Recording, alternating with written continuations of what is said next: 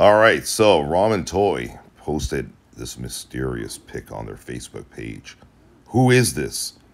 A lot of debate going on here. Is this the Visionaries? Dun dun dun dun. Is it Tron? Dun dun dun dun. Is it maybe Masters of the Universe? Rock on Stonedar? Dun dun dun dun. Drop a comment below. Let us know who you think it is. I know the answer finally who this is, but I'm not going to reveal it right now. And it looks pretty darn good, doesn't it?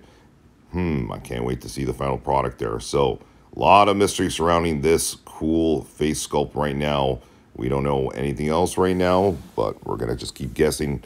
That's my guesses. Drop below a comment who you think this is going to be and who Ramen is going to explore and eventually reveal this cool looking figure right now. So this is the head sculpt that we've been teased with. It looks pretty, pretty epic so far. All right, check it out over Ramen Toy on Facebook.